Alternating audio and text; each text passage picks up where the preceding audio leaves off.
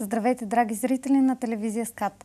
Аз съм Наталия Илиева. Вие сте с предаването Чист живот. Предаване, което цели не само да ви информира за зависимостта като заболяване, а и да ви помогне. За днешната тема съм избрала а, семейната терапия за съзависими, тъй като това е доста важна част от самата терапия при лечението на зависимости. А, реших да посветя цялото предаване на нея и а, на гости при мен съм поканила Русица Бялкова, а, която е а, терапевт по зависимости и а, води терапията на съзависимите. Здравейте! Здравейте! А, много се радвам, че сте ми на гости и а, а, това, което исках да кажа всъщност с днешното предаване целя да дам акцент малко на това колко е важна семейната терапия а, при лечението на зависимостите. И във времето назад, в доста от предаванията така, сме давали информация от части, какво представлява семейната терапия, но никога не сме правили нали, предаване, което да е изцяло посветено на това. Днес с вас искам да разгледаме по-обстойно тази тема и да разясним за зрителите, които до сега не са ни гледали и не знаят за какво говорим. Нека да започнем от там. Първо, да изясним какво е термина съзависимост. Кои са съзависими? Да, а, радвам се, наистина е важна тема и от нея зависи ефективността на цялата терапия. Mm-hmm. А, така че а, поздравявам ви за избора на тема. А що се отнася до а, самото понятие съзависимост, а, това е всеки човек, който е позволил на някой друг човек и друго нещо, ситуация да обсеби живота му, а, така че това да е в фокуса на вниманието. Както при, зависимостите, а, при зависимите в един момент зависимостта е фокуса на внимание и цялото функциониране се организира а, около това, към което около веществото, да, или играта, или алкохола, или храната, или така другите видове зависимости. А, при съзависимостта фокуса на внимание а, пада върху зависимия. Mm-hmm. Тоест, а, а, това и, и зависимостта и съзависимостта е един симптом. А, симптом, когато става въпрос за, семей, за семейството. Семейството е една система и когато има, дисфу, а, има а, така, а, трудности в функционирането, предизвикателства в тази система, с които а, членовете на, на системата а, не се справят, а, изпитват някакви затруднения по различни причини, тогава се явяват а, и други симптоми, но ние в момента сме в темата независимост, съзависимост. Това се явява като един симптом. Какво а, имам предвид? А, даден проблем съществува в семейството, живеем в реалност, която а, нали, това е част от живота, mm-hmm. да има проблеми, а, така че не е нещо необичайно. Въпрос е хората как реагират и как намират решение а, за тези проблеми. И а, в а, тази проблематика, зависимост, зависимост, когато се яви този симптом, всъщност а, а, при даден проблем а, част от семейството, нали, зависимия, а, решава този проблем през употреба, през игра, а, нали, другите видове зависимости, които съществуват, а пък близките, близкият му човек, близките, дали един, двама или няколко, зависи от а, вида система, нали, семейството, дали е а, нуклеарно, разширено и така нататък, нали, те пък, вместо да се заемат с решаването на проблема, те пък решават, че трябва да се заемат с зависимия. И то става малко като дядо вади ряпа, нали? Но никой не се е хванал за проблема, а се е хванал за нещо друго, с което къса връзката с реалността и, и къса връзката с проблема. Което само по себе си е едно патологично справяне с да, проблема. точно това е, че и зависимостта, и съзависимостта са заболявания. Разликата е, че зависимостта е влязла в международния класификатор на психичните болести, докато съзависимостта не е влязла. Все още не е. Все още не, но абсолютно има същите а, признаци, характеристики, като едно а, от многото заболявания, които съществуват, включително и зависимостта. Така, на прост език казано, може ли да го а, обобщим като съзависимост е да си зависим от зависимия? Точно така. На практика точно това се получава. Mm-hmm пак е, има тая концентрация на всичко около, ако при зависимия около веществото, при съзависимия около зависимия. Точно така. А, хубаво разяснихте и каква е разликата, а, кое е общото и кое е различното между съзависим и зависим. И наистина тук е хубаво да обърнем внимание, че съзависимостта по никакъв начин не е по-лека от една зависимост. Точно така. А, и а, последиците а, също не са леки. И има много общи неща между двете. Когато разгърнем темата, нали, а, доста често ще правя паралел пред, а, при зависимостта и съзависимостта, защото имат много общи неща. И от гледна точка на самото страдание, и от гледна точка на последиците mm-hmm. а, за личността и патологичните изменения, които се случат следствие на това заболяване. А, така че върват ръка за ръка. Ясно. А, аз ще ви помоля, освен да правите паралел между съзависимост и зависимост, ще ви помоля да давате и примери, защото знам, че а, доста време вече работите с близките на, на пациентите, които са зависими, имате поглед. Така че ще ми е много полезно да ми давате примери. А, какво представлява всъщност, а, да, да поговорим сега малко за самата семейна терапия, какво представлява, как протича? Така, семейната терапия, когато е част от а, общата терапия на зависимостта, а, защото има различни видове, затова след това ще уточна. но когато е част от общия пакет и от общата терапия при постъпването на зависимо, зависимите за лечение, паралелно е важно близките също да се включат в терапия. И първият етап, така ако се каже, на тази терапия, това са информационно-дискусионни срещи, които правим. Какво които... представляват тези, тези Да, сеси? те са на принципа на когнитивно-поведенческа терапия и са на принципа на предоставяне на информация за даденото заболяване, и състояние, както зависимост, така и съзависимост. Минаваме цикъл от 8 теми, които освен информация по дадената тема, след малко ще ги спомена нали, самите теми,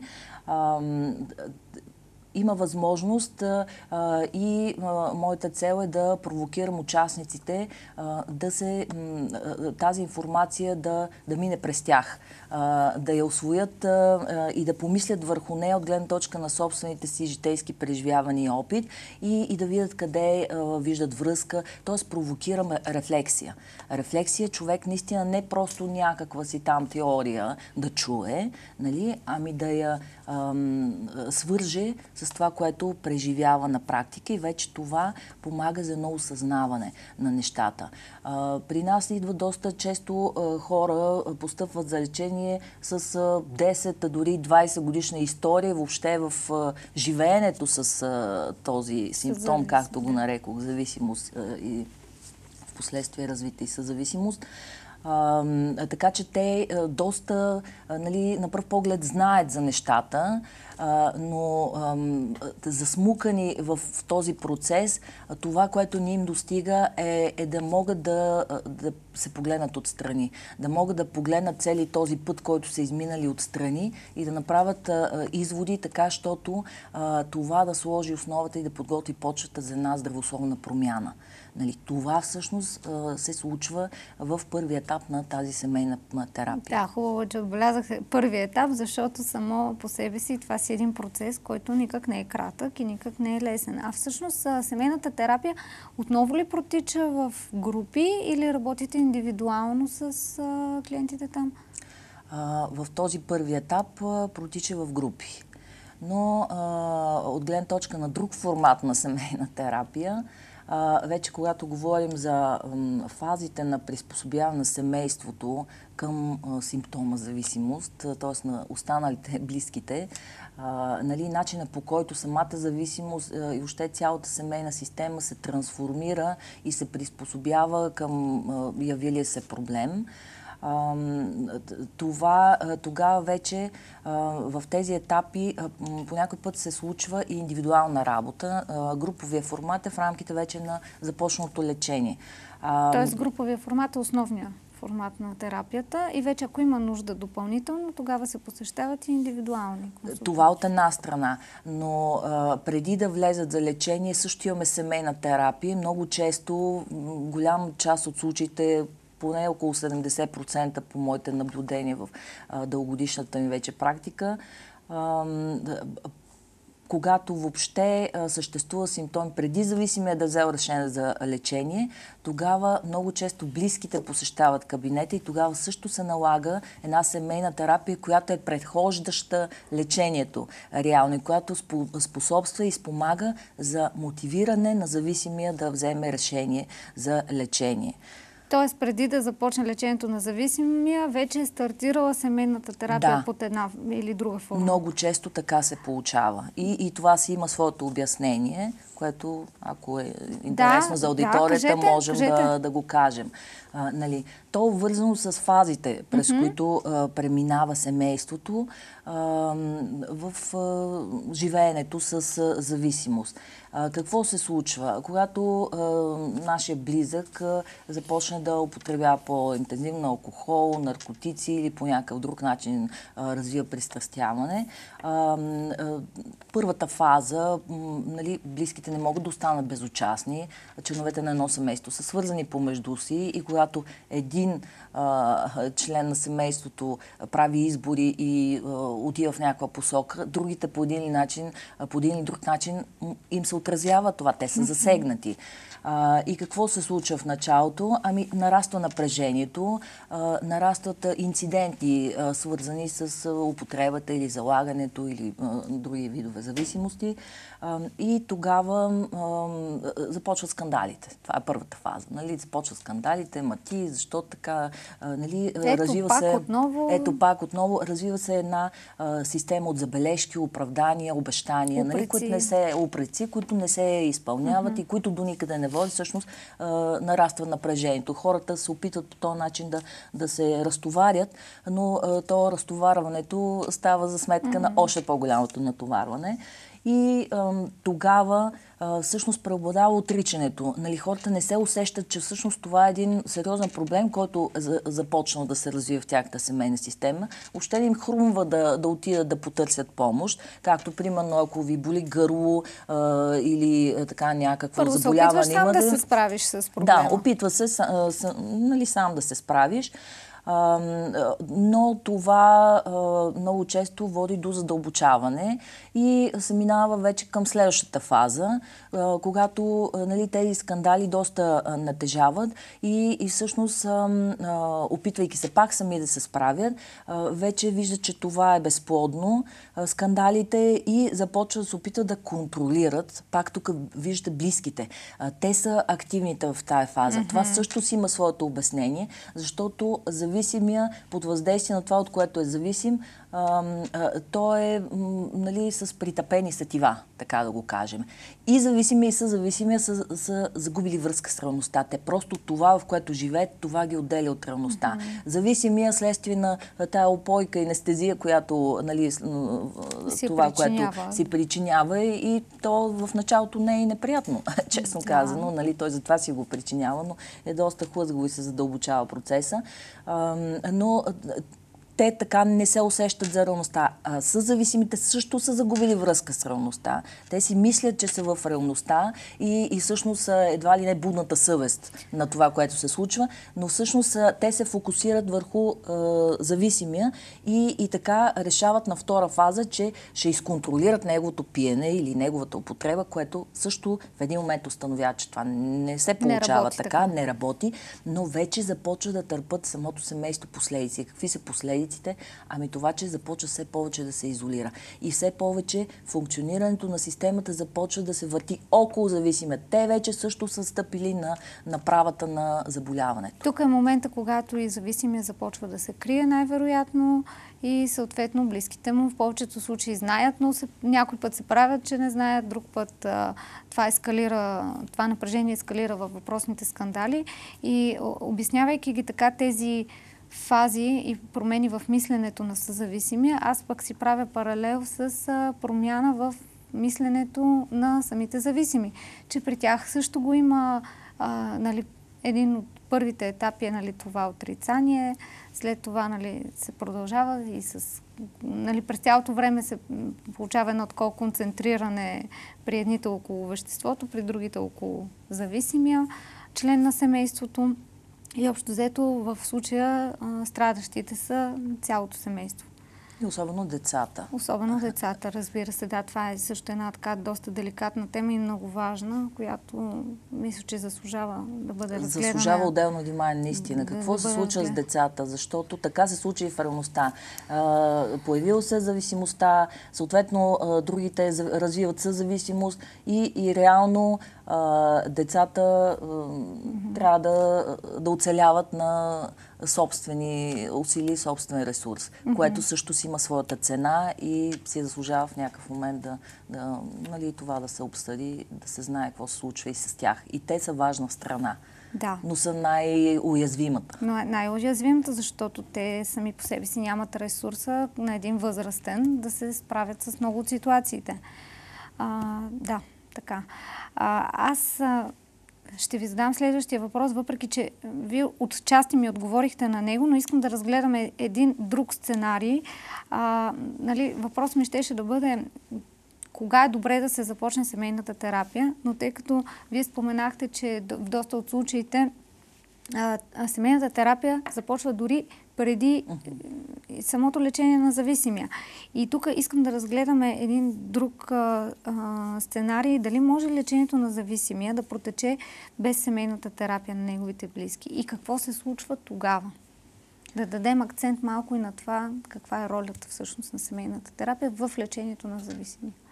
Да, разбира се, че може, т.е. може, по-скоро разбира се, че се случва. Да. Но от гледна точка на крайния резултат и ефективността на самата терапия не е добре да е така. Mm-hmm. Нали, не е добре да лекуваме само зависима. Защото какво се случва? Пак казвам, продължа, а, нали, да напомням, че семейството е една система. И ако вие хванете една част, част от тази система, а, там моделирате по някакъв начин, което се случва в терапията, нали, зависимите сами полагат усилия да, да се променят, да а, нали, изградат друга идентичност, друго поведение. Тоест, те участват и извършват промяна. Обаче, връщайки се в същата система, защото това са трайни връзки, тя системата, системата е ако не се е променила, ако е същата, всъщност този човек въобще не пасва на системата. И това а, или ще докара а, стрес допълнителен, а, който а, нали, ще саботира самата здравословна промяна и ще способства, а, ще създаде риск от рецидив, от а, пробив и а, дори така доста добра почва за рецидив и за пробив ще се осигури.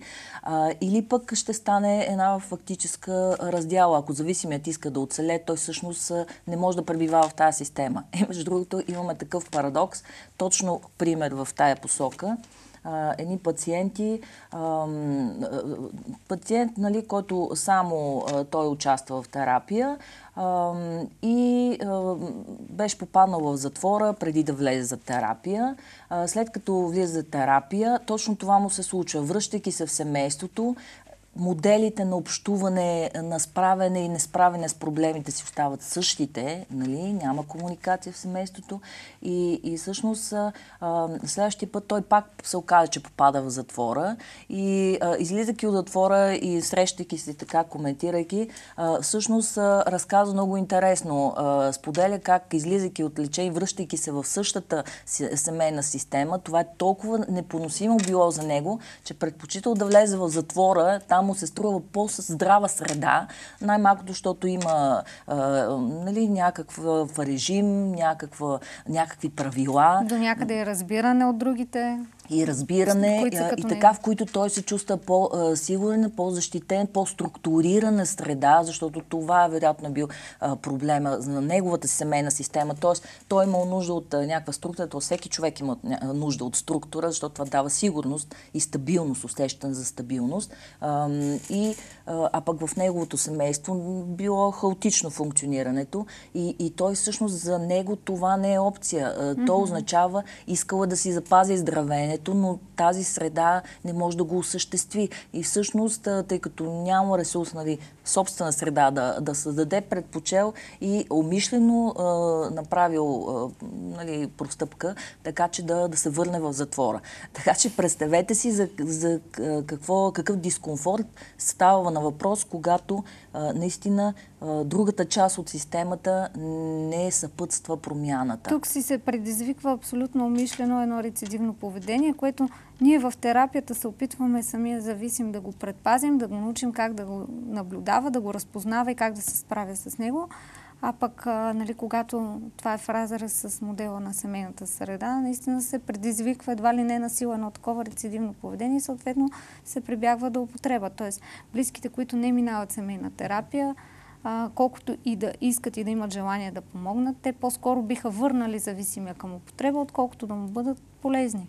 Много примери има в тази посока. Включително а, а, нали, това с затвора беше по-екзотичен пример, защото не се среща толкова често. често Просто да. дадо го като едно засилен а, пример, макар че е реален пример, но за да се види а, на какво е готов човек, когато иска да здравее а, нали, а, и какви избори е готов да направи. Но има и много чести пример на другата посока, когато а, хо, а, близките не минават семейна терапия, не се информират а, за а, нали, здравеенето и още възможностите за здравеене и много често а, продължават да си употреб... и, и излагат на тригери и на mm-hmm. такива предизвикателства.